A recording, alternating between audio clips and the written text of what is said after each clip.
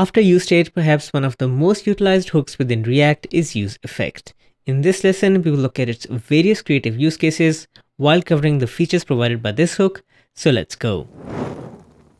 One of the simplest usages of useEffect is to register a callback function that gets invoked whenever the component is rendered.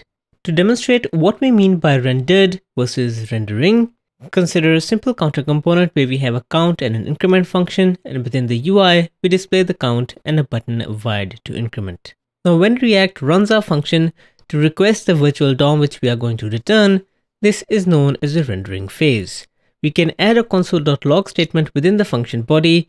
And indeed, when we jump into the UI and run it, you can see the console.log rendering every single time a component needs to re-render because of, as an example, a state change. Now the useEffect hook is something that is exported from the main React module and we can do a simple import to bring it in.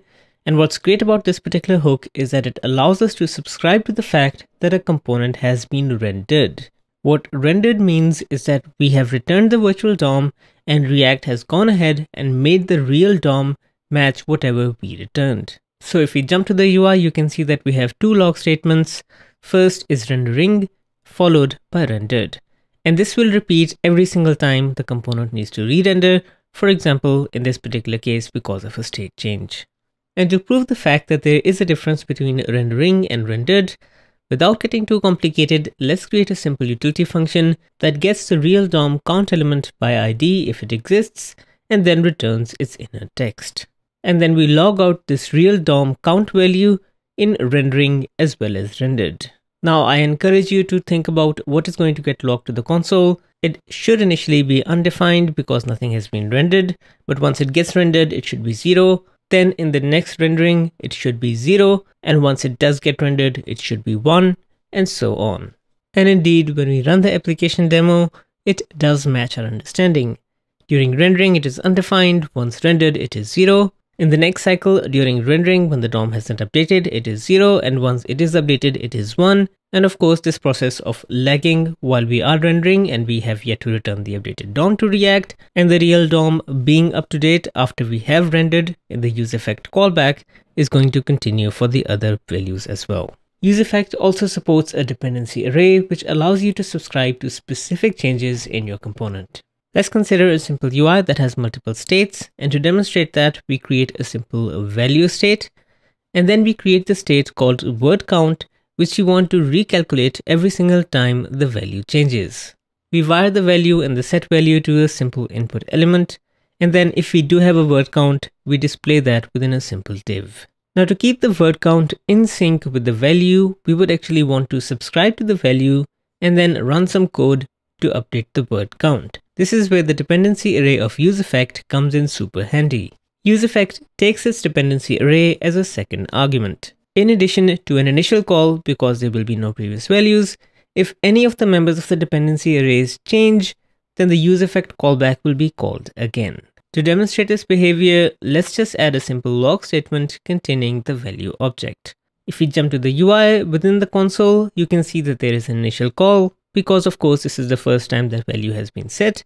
And then every single time we modify something that is not value, for example, increment the counter, nothing gets logged.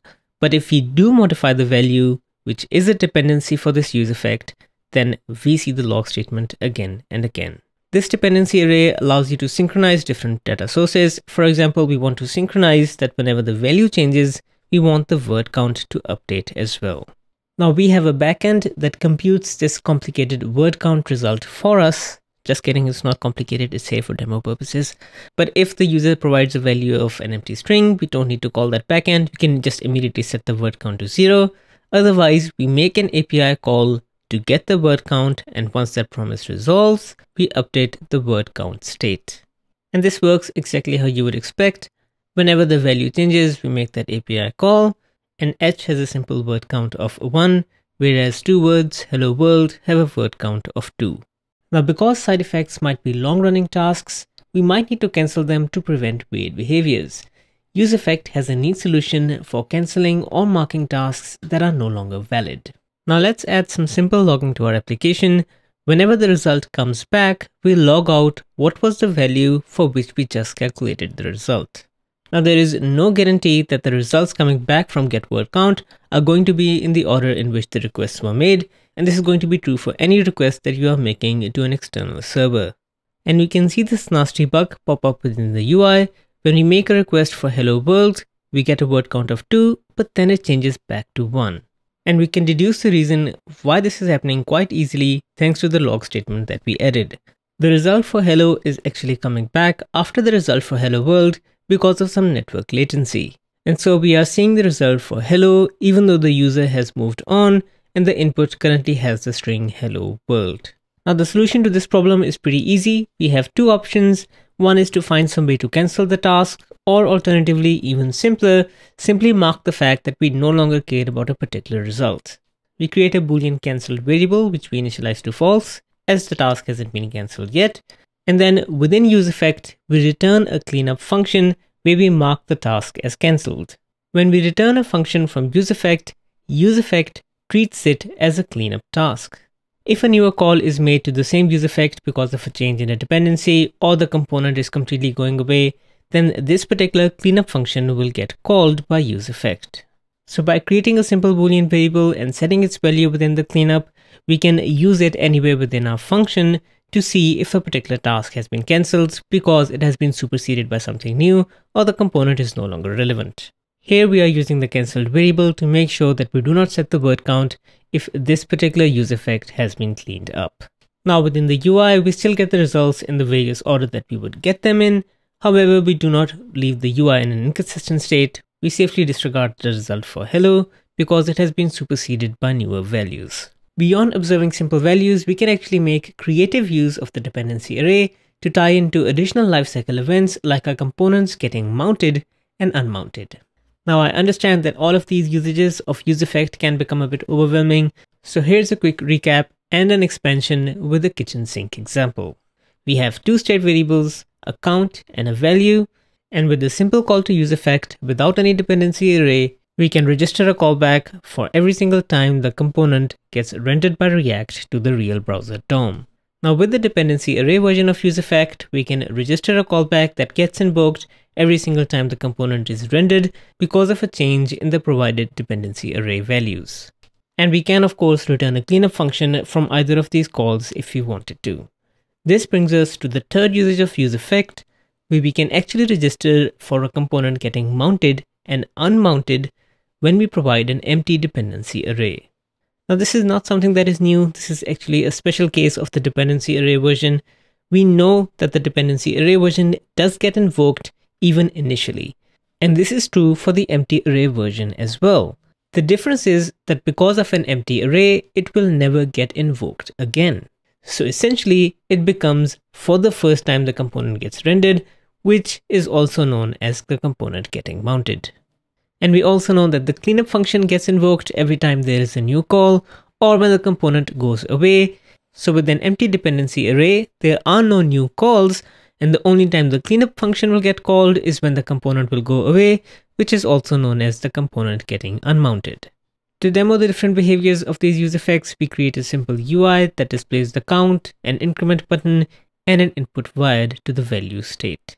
Now in order to demo the component getting mounted and unmounted, within our app we create a simple boolean state shown which we initialize to true and then to toggle it between true and false we create a simple button wired to set shown. And then when the shown boolean is true we will render our kitchen sink. Now with this simple code to mount and unmount the component, let's focus in on our kitchen sink example and observe its behavior with the browser side by side. You can see that initially when our component gets rendered, we get the callback for rendered, we get the callback for the new value, and we get the callback for the component getting mounted.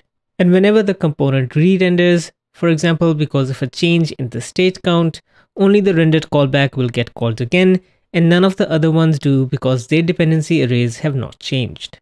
Now, if the user changes the value state, we will get two callbacks, one because of the fact that the component has re-rendered, and one because of the fact that the value is changed, which means that the second useEffect also gets called.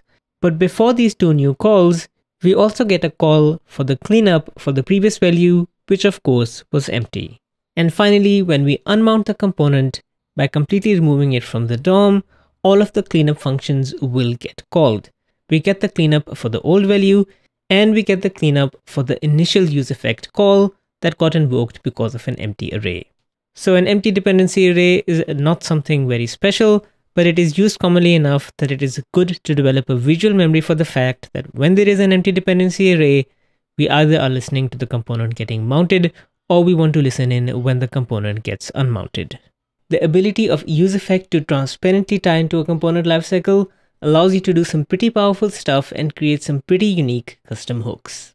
To demonstrate this fact, consider the desire to listen in on the window width. We can get the window width from window.innerWidth, and we can use this value for responsive design by using it when we are rendering our component. Now right now this is actually just a snapshot of the value that the window inner width had when the rendering for the component was happening. And we can prove this by playing around with the UI and you can see that the value doesn't actually react. Now to fix this, you would imagine that we would want the window width to be dynamic, so of course we will put it behind a useState hook. Now we would want to start listening to the window width changing as soon as the component gets mounted. And for that, we have the useEffect hook with an empty dependency array. We create a utility function which we want to invoke whenever the window gets resized.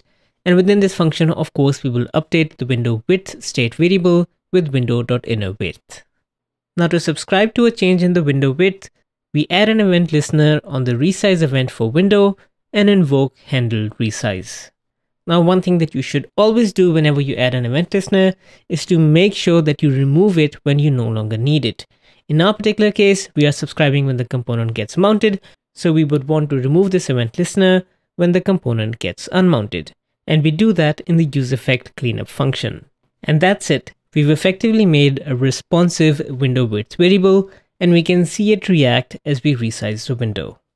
Now this is all neat and tidy, however it's still a lot of code for a simple variable and we wouldn't want to repeat this code again and again every time we want to listen in on window width. So wouldn't it be great if we could create a custom hook that abstracted all of this complexity away from the app component? Fortunately, creating a custom hook is a super easy task we take all of this functionality that we wrote within app and then move it within a custom hook function and just return the value that the app component expects. And within the app component, we make a simple call to a custom hook and then get the window width from the result. And now we have a nice responsive hook that we can use whenever we want to listen in on the window width. Using a useEffect with an empty dependency array allows us to transparently tie in when the component gets mounted and unmounted. I'll wrap things there. Thank you for joining me and I will see you in the next one.